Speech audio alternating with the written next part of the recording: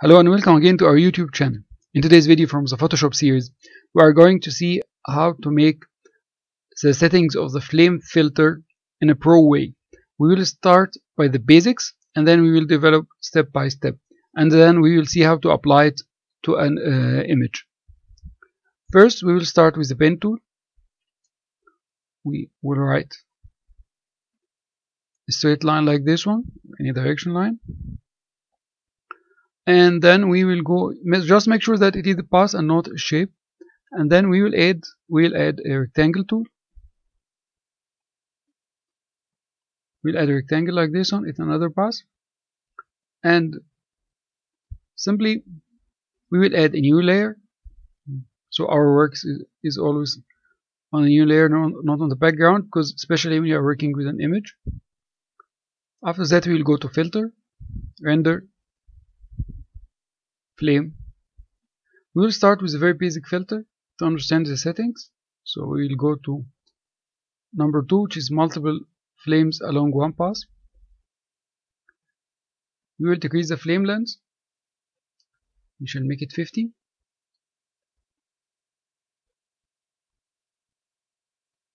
Width will make it very small to 5.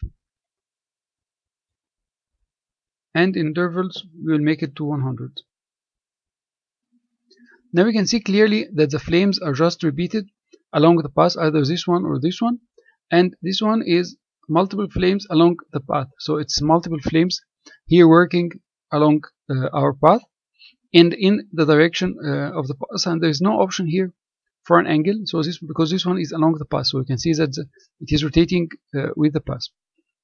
Uh, if we uh, increase the uh, the lens here, for example to 70 you can see that the length of each flame along the path is changing.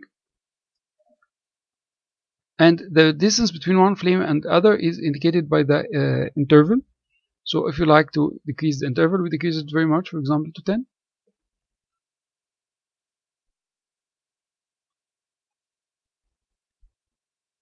you can see that the flames are almost linked together. Just like if you are making a frame of fire or something like that you can use these uh, these settings. Then we will start to increase uh, the width a little bit. We will go to 15 just when you press tab uh, tab it is uh, adjusting the settings automatically. Because if you press enter it will apply to the screen now we can see that uh, how it looks uh, your uh, frame. Now what about the, the, other settings? So we will uh, simply go to uh, interval bigger interval 100 again. We'll keep the width to 15 and the uh, length to 70 here we are having some randomized lens selection. If we remove the randomizing of the lens you can see the difference in the effects. Now all the flames are exactly the same length there is no variations. Uh, randomizing will make each flame uh, having a separate lens. Now let me explore the other settings. So if we go to the following one, which is multiple flames, one direction. So all the flames will be in one direction, but now we have an option for the angle which is dimmed here to set uh, the angle. So we'll select number three. Regardless of the direction of the path, here it is in the direction of the path because it's angle zero. Here it is pointing up to zero. Uh, although the path is in this direction and here it is in the direction of the path. If we change this one to 90 for example, you can see that it is all tilted 90 degrees and the direction is not varying. So we will explore the next one which is multiple flames path directed. Path directed here means that it is 90 degrees to the path, whatever is the direction of the path. So if, we if I select this one, you can see that because now I selected it to 90, I'll make it 0 so as you can see that that's its uh, original uh, setting which is 0 it's directly uh, pointing uh, pointing perpendicular to the path. So our path here is in this direction. It is 90 degrees. That's the original setting when I'm putting here 0 here our path is in this direction. The flames are in this direction. This line path is in this direction. It's in this direction. Here that path is in horizontal like this. It's downward. It's pointing downward. So uh, let me now increase the length a little bit to 90 and we shall randomize the lens now you can see that every uh, flame is coming with a different lens and they are all perpendicular to the path. Now if I selected the fifth one, which is with various angles, you can see that here it's variable but it is all in the same direction because the angle is zero. Here the setting of the angle means the various angles or the difference angles will vary within the angle. If I set it to 90, they will vary within 90 degrees. If I set to 40, they will vary with 40 degrees. So let me select, for example, 90. Now you can see that every angle is coming in, uh, every flame is coming in a different angle and all they are within 90 degrees relative to each other. So if now I decreased the interval, for example, to 50, you can see that the, now the flames are more condensed uh, together uh, I will show you one uh, last thing or two things. They are the same. The candlelight and the one flame they're giving the, exactly the same uh, result. You don't have any uh, any setting except the width and uh, the algorithm varies a little bit for the intensity of the flame between the one flame along the path and the candlelight. We will see the candlelight. You can see that only the width is available for you to change and uh, it's generating its own um, algorithm uh, around the path. You can see that the path here is uh, artistic, so you can use it in, in, in other projects. You can increase the path here, for example, to make it uh, 45. You can see the path is uh, increasing the flame. If I change it to the first one, which is the one flame along the path, you will find it.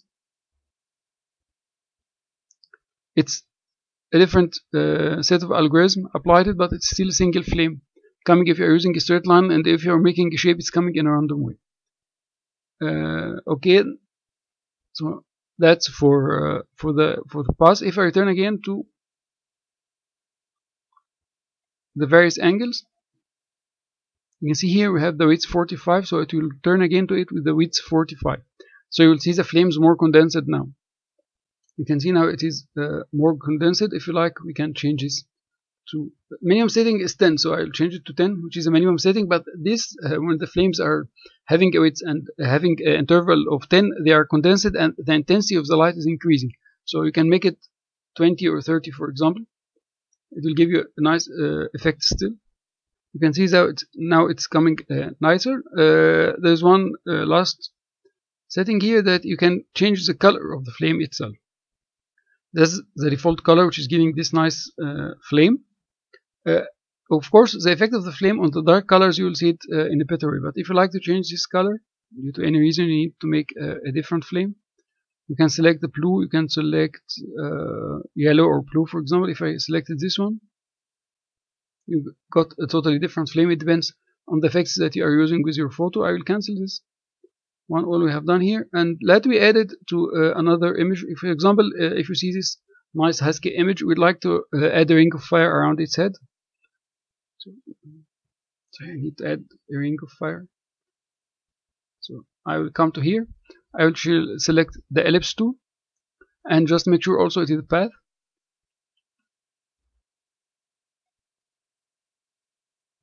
I'll bring it around its head like this one I need to rasterize the layer. So Alt L Z L okay and then filter render flame. Now it's working. Because now I'm applying it on the, on the layer itself. That's why uh, I'm saying you that it's better to apply it on uh, a new layer. Uh, a new layer. And then we'll apply the filter to this layer. So render flame. Okay I will select this one. Okay. Now you can see that it's coming in a nice way but if you like to change it or to explore different rings of fire so you can make a new layer. You can hide this one. With the same path you can come to filter render flame again if you remember I said that the path directed is 90 degrees to the path. So if I make this one 90, it will come in the direction of the path itself. Okay, we will make the angle as here. I will make the angle to 90. Now you can see that this one looks more realistic like a ring of fire. okay if you like this one better so simply you can press escape to remove the filter if you like to make it more realistic you can go to uh, your eraser just need to raise it from around the husky ears and legs here.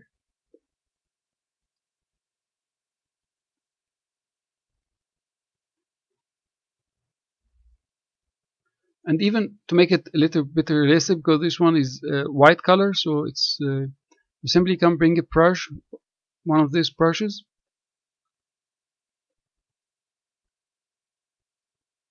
let's select this one for example. You can see the settings of the brushes here and I'm increasing the spacing so it's not condensed. I can increase the spacing more. I'm selecting the one which is having some dots uh, in it. And for the color of the brush I select the color uh, from the fire itself. And then I'll add some yellowish color to the white of the husky so to make sure that uh, you have reflections of the fire it cannot be that much white while passing through the fire. Okay. We can add one more thing. I can uh, here I can increase. You can see here that's small opacity. I can increase the the opacity of it. So and I can make one line here with a little bit more opacity so it appears as a reflection of the main ring of the fire and the others uh, are the shadow thank you for following so far I hope you had learned a lot of information today that will help you with your coming projects uh, join our channel join our blog post uh, wait for the coming videos and activate the bell. Thank you for following so far.